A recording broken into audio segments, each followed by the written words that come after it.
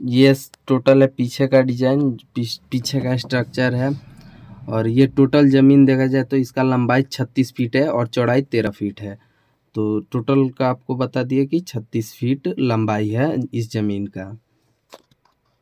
अब आगे की तरफ़ चलते तो आगे की तरफ़ आएँगे तो ये सिंपल सा डिज़ाइन है और जो ईंटा सजा हुआ है वो हो गया दुकान और ये जो अंकल जा रहे हैं, ये हो गया आपका पाँच फीट का गैल चलिए हम आपको बताते हैं कहाँ कितना लगा है इस ज़मीन में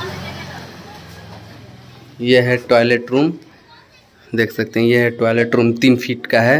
आ, हाँ तीन फीट आठ दस इंची का है और ये गेट जो है ये तीन फीट का है। ये आपको दुकान देख लिया। अब दिखाते हैं आपको रूम गाँव है तो थोड़ा आना जाना गाड़ी का लगा रहता है। ये रूम रहा बारह बाई तेरह का।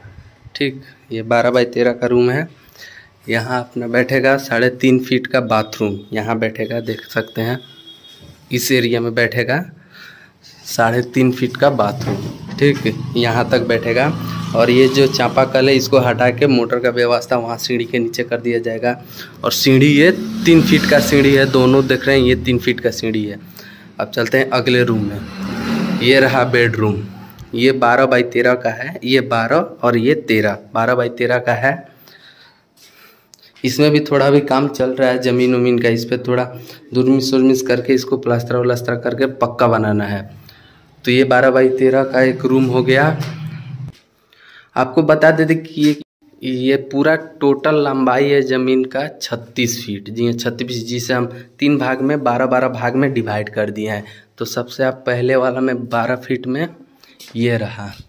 जी अंकल सोए हैं यहाँ पे।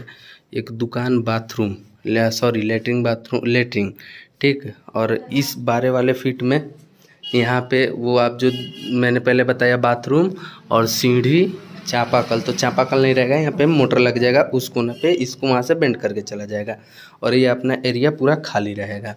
और बेडरूम वाला भी ये भी बारह बाई बारह का है तो ये बेडरूम है। और अगर जंगला का बात करें तो देख सकते हैं, चार बाई चार का जंगला है, इसमें और उसमें दो में। उस वाले गैलरी में कोई काम नहीं है। अब चलते हैं छत पे। सीढ़ी तीन फीट का है, एकदम दीवार से अटैच करके निकाला गया है। अभी भी काम चल ही रहा है। ये आ गए छत पे। छत पे आने के बाद इधर देख सकते हैं आप। ये एक रूम का रहा। और इस साइड है ये। इस साइड चलेंगे तो ये एक रूम का रहा। और आगे ऊपर में भी दो रूम और एक लेटरिन बाथरूम और उस साइड किचन का हो जाएगा व्यवस्था। ऊपर का अपना अलग से भी स्ट्रक्चर बन सकता है। तो ये सोचकर बनाया गया है।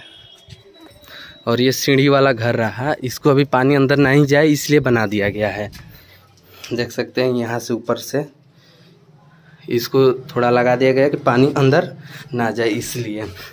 तो ये रहा मेरे घर का डिज़ाइन।